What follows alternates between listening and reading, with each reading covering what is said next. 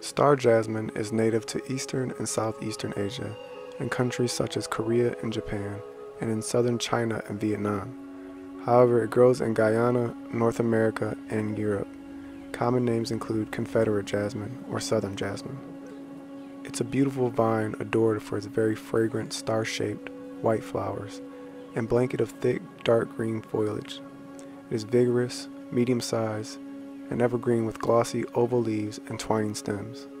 The abundance of flower clusters and sweet smells are unforgettable.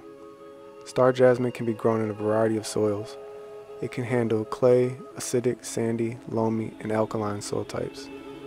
Use this plant as a ground cover or grow on a supporting structure such as a trellis or arbor.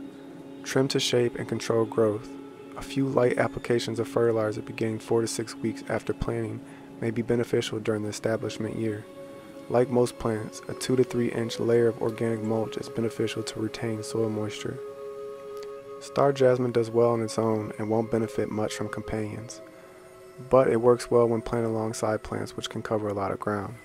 Choosing plants which offer a bright or vibrant color will break up the white color of jasmine.